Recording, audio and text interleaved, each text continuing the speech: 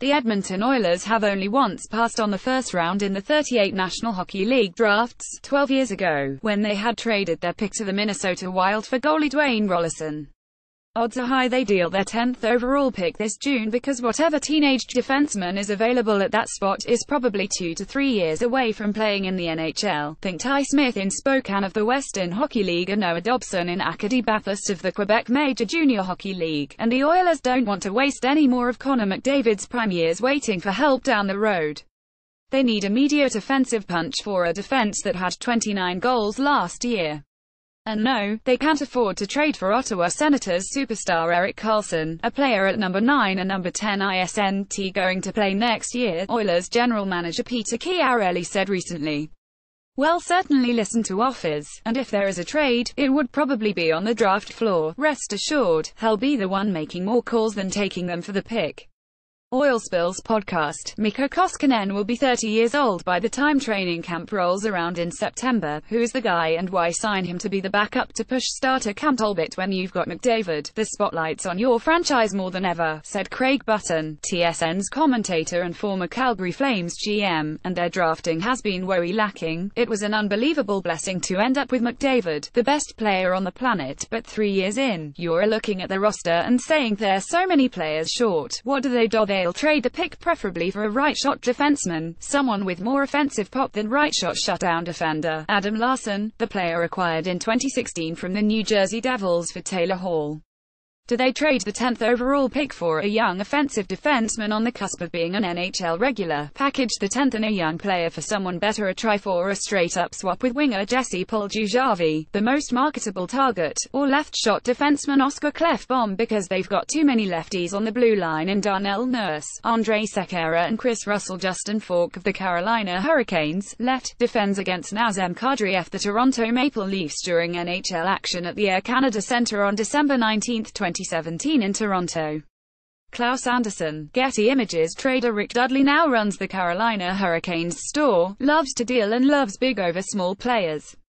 Would he want the 10th pick for defenseman Justin Faulk, who has 15, 16 and 17 goals on his resume, if the Oilers threw in a bigger player such as Jujhar Khaira and expand the deal if needed or would Dudley want Paul Puljujarvi straight up because he played with Hurricanes defenseman Sebastian Aho on the Finnish World Junior team and the Carolina has a deep blue line with Jaccob Slavin, Brett Pesce and Noah Hanifin already St. Louis Blues Colton Parayko celebrates after scoring during the second period of the team's NHL game against the Toronto Maple Maple Leafs, in St. Louis.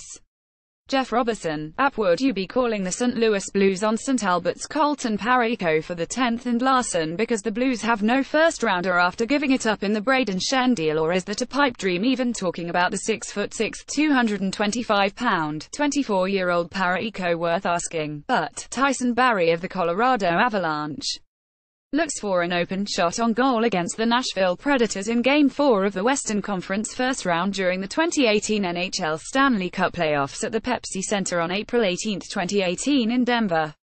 Matthew Stockman, Getty Images Could they acquire Tyson Barrie from the Colorado Avalanche for Klefbom, swapping out a lefty for a righty, even if Klefbom's $4.1 million salary is perfect for the Oilers salary cap or will the AVs want to wait until their 2017 first-rounder Cale Makar leaves college after next possible?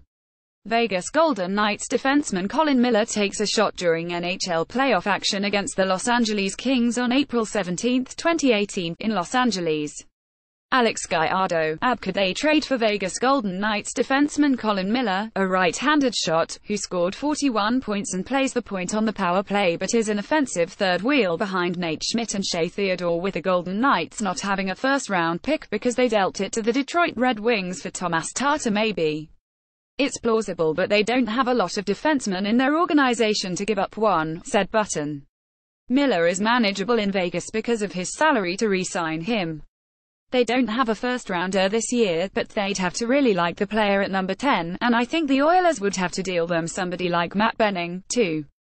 Anaheim Ducks defenseman Brandon Montour, right, passes the puck as Dallas Stars winger Remy Elie zeroes in during NHL action on April 6, 2018, in Anaheim, California. Mark J. Terrell, app, would the Anaheim Ducks be interested in parting with Brandon Montour, who plays a lot like Matt Dumba, for Puljujarvi because the Ducks need to get younger and faster at forward, or is that a non-starter because they let Theodore go to Vegas and traded Sami Vatanen for forward Adam Henrique, so so deep on defense any longer a long shot. If it's just the number 10 the Oilers are offering and nothing more, gear down. Maybe they then try for Travis Sanheim of the Philadelphia Flyers or Jacob Larsson of the Ducks for the 10th overall pick and try to trade something else for a more established defensive defenseman. Ideally, what you'd like to get is a defenseman who's farther along than a draft pick. Sanheim and Larsson are ready to play right now, and the Flyers and Ducks are deep on the blue line, said Button. I know both shoot left, but you can't fix your team in one fell swoop. Ideally, you'd like a right shot guy, but I don't know where they are. Email J Matheson at postmedia.com and Twitter, at Matty.